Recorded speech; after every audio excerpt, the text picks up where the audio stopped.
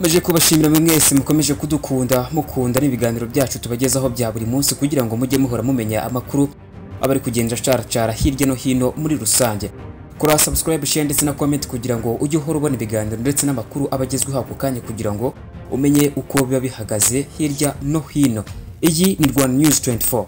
niki noneho kigezweho aka kanya. Nyuma y'uko umutwe wa M23 utangaje ko wamaze guhagarika imirwano ukavumbira irindiro cyangwa se mu bice yagiye ifata ku wa kabiri tariki ya karindwi werurwe bibiri na makumyabiri na gatatu ni igiki kiba kigezweho aka kanya? Mbere ko reko nkugezaho ukuntu ikintu kigezweho aka kanya ni uko umujyi wa Goma ubu ngubu ugeramiwe wahuye n'ibibazo bikomeye cyane kubera M23. Ni iki cyawubayeho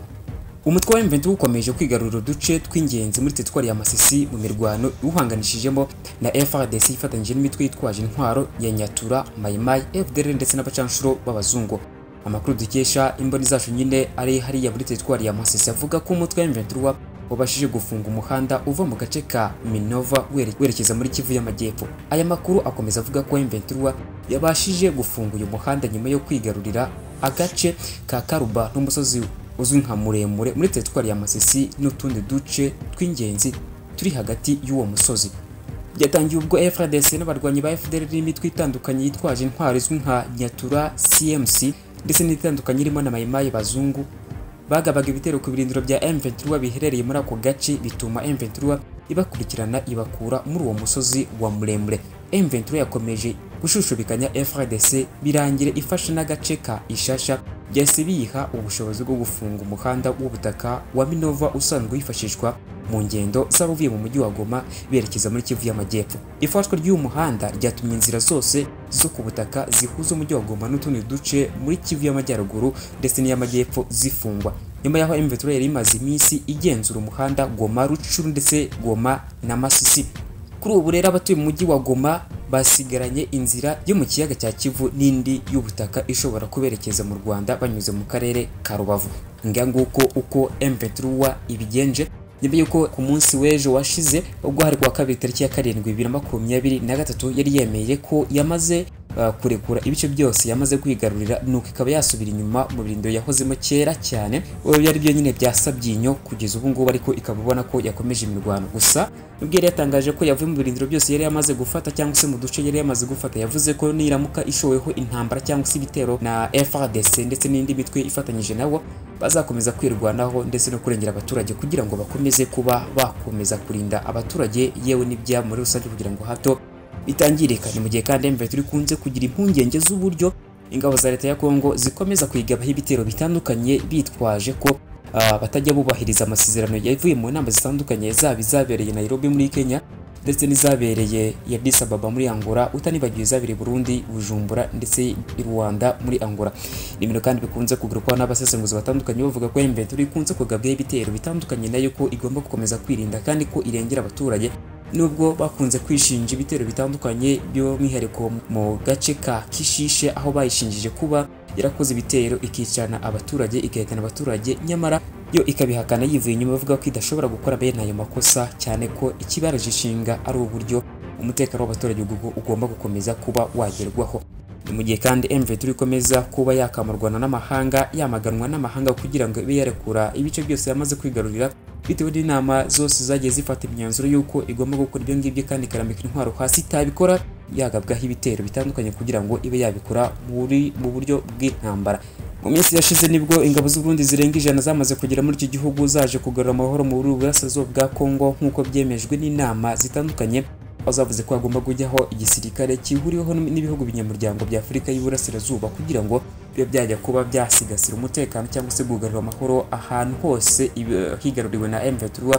bice nyine M23 yamaze kwigarurira mu gihe yamaze kuvamo. Mu minsi ishize nibwo ingabo z'u Burundi zamaze kuba zagera muri iki gihugu cya Kongo aho zizagezwa mu bice bitandukanye birimo Kishishe, Bunagana, Kicanga ndetse na za Kiwanje ndetse n'ahandi henshi hatandukanye kugira ngo aho M23 ibice byose yamaze gufata ikamara kubivamo ibe yabasha gukomeza kuharinda irinda abaturage n'umutekano wabyo. Ni mu gihe ingabo z'u Burundi na zo zamaze kuhagera zisanzeyo iza Kenya iza Uganda na zo zari zamaze kuhagera ndetse n'iza Sudani y'Epfo zagiye zishyirwa mu biduce dutandukanye kugira ngo zikomeze kugarura amahoro mu burasirazuba bw'iki gihugu aho ibihugu byinshi bitandukanye bikomeza kuvuga ko burasirazuba bwa Kongo hakomeje kuba imirwano ndetse n'intambara bikomeza kwibasira abaturage bigatuma bava mu byabo benshi bagahunga. Haba bahungira haba bahungira imbere mu gihugu cyangwa se bahungira hanze y'igihugu muri rusange ibintu bitagaragara neza aho amahanga akomeza kuvuga ko atari ibintu byiza. Ejo bundi ubwo perezida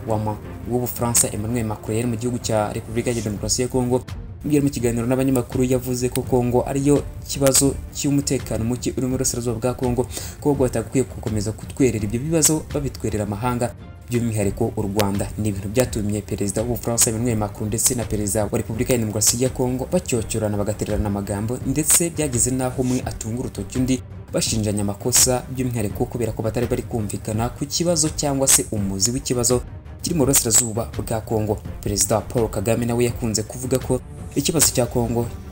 by'umwihariko kiri mu burasirazuba bwa Kongo umutekano muke nyine ubarizwa ahangaha giterwa na guverinoma ya Kongo by'umwihariko ubutegetsi butari mu murongo neza kugira ngo bakemure ibibazo byabo mu giti cyabo ahubwo bakomeje gushaka inzira za bugufi izibyo yise shortcut kugira ngo bakomeze gutwerera ibibazo amahanga ariko by'umwihariko bagakunda kugaruka ku kibazo cy'u Rwanda bavuga ko ari rwo rwihishe inyuma y'umutwe wa M23 mu gukomeza gutuma mu burasirazuba bwa Kongo hagaragara umutekano mukeya. Ibi kandi perezida Paul Kagame yabigarutse avuga ko bakomeza kugarura kuzana amahanga cyangwa se abaturuka ibwota amasimi ngo babafashe gukemura ibibazo birimo nyine abacanshuro b'aba regionnaire ni ukuvuga abafaransa ndetse n'abacanshuro b'aba Wagner Group bo mu Burusiya kugira ngo bakomeze kubafasha gukemura ibibazo nyamara bakima amatwi ndetse bakima n'uburenganzira ibihugu bituranye cyangwa se abaturanyi ba hafi ni ukuvuga nyine ibihugu binyamuryango bya Afurika y'Iburasirazuba biba byakomeza kubafasha kugarura amahoro mu burasirazuba bwa Kongo cyane ko ngo ari byo binafite ubushake kurenza ibyo hakurya y'inyanja cyangwa se amazi magari.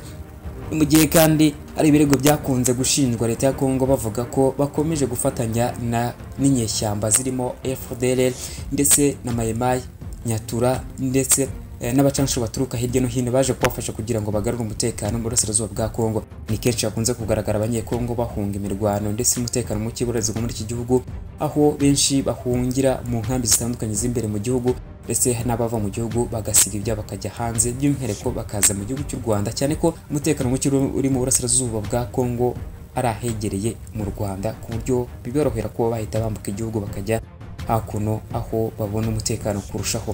Ni kenshi kandi leta zo hanze cyangwa se imiryango mpuzamahanga yakunze kugaragaza raporo zivuga ko hari abaturage benshi bakomeje kwicwa cyangwa se bakava mu byabo bazize umutekano muke uri mu burasirazuba bwa Kongo mu gihe mvetura na yo ikomeje kwigarurira ibice bitandukanye bigatuma umujyi wa Goma nawo ukomeza guhura n'ibibazo bitandukanye ibintu bivuga ko bishobora gutuma abaturage cyangwa se umujyi wa Goma ukomeza guhura n'ibibazo bitandukanye kandi bitagakwiye kuba cyangwa se bitagakwiye kuba ngombwa ko iyi ntambara ikomeza. Bakomeza kugirwa inama yo gushyira mu bikorwa imyanzuro yose yagiye ifatirwa mu nama zitandukanye z'abaperezida cyangwa se zahuje abakuru b'ibihugu bigize umuryango wa Afurika y'Iburasirazuba nk'uko byagiye byemezwa muri rusange gusa leta ya Kongo ikagenda igaragaza kwisubiraho ku myanzuro isinyira yewe n'umutwe wa M23 nawo ukavuga ko udashobora kuba washyira intwaro hasi mu gihe ukomeje kugabwaho ibitero n'ingabo za leta ya Kongo cyangwa se FARDC ibintu bikomeza gutuma iyi ntambara idashobora kurangira muri rusange. Ubwo M23 yagiranaga ibiganiro na perezida wa Angola Joao Lourenço yaje kuvuga ko iyi ntambara cyangwa se uku gushyamirana kuri hagati y'inyeshyamba za M23 ndetse na leta ya Kongo kudashobora kurangira mu buryo bworoshye mu gihe hatabayemo kumvikana ngo babe bashyiraho ibiganiro bibahuza maze bongere kugarura amahoro n'umutekano mu burasirazuba bwa Kongo. Bakabagira inama y'uko bose bagomba kwicarana bagafata imyanzuro ku cyagakwiye gukorwa maze buri muntu wese akahashyira imyanzuro cyangwa se akubahiriza ibyagiye bifatirwa mu myanzuro itandukanye y'ibihugu bitandukanye muri rusange. Ngira nguko kora subscribe share ndetse na comment kugira ngo ujye uhora kubona amakuru meza agezweho kugira ngo ukomeze kubona amakuru tukugezaho buri munsi. Ndabakunda cyane.